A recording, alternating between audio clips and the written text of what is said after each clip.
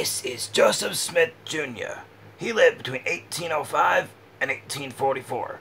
He was a founder of Mormonism and published the Book of Mormon.